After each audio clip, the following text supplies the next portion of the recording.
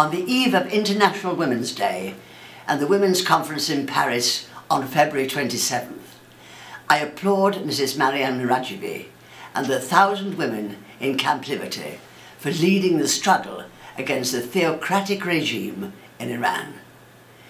You people give hope and voice to millions of women in Iran who are being discriminated against on a daily basis.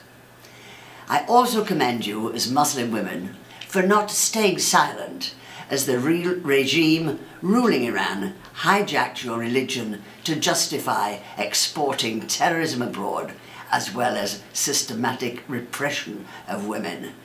The hanging of juveniles and the execution of some 120,000 members and supporters of the Iranian Democratic Opposition, the PMOI. Your commitment, you know, to a free and democratic Iran is highlighted in the 10-point plan for, for, the future of Iran presented by Mrs. Maryam Rajavi. That plan sets out an agenda for a secular republic based on the rule of law, on gender equality and the abolition of capital punishment and torture.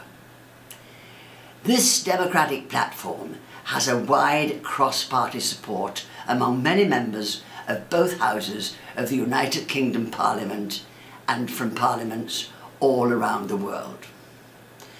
Your struggle for human rights and freedom in Iran has not been easy and you have made enormous sacrifices for your cause and bless you for it. But as Tehran's appalling and unacceptable behaviour continues, it is time now for the international community and leaders of the democratic nations to support your cause by recognising Mrs. Rajavi's 10-point plan for the for future of Iran and to stand with you and millions of Iranian women who endeavour to establish these democratic values for your country. I will continue to support you and to call upon my government to do so.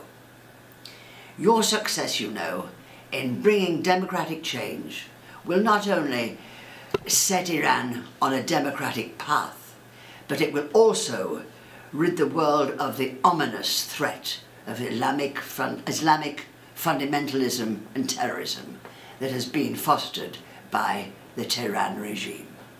Thank you very much for listening to me and my very warmest good wishes to you all.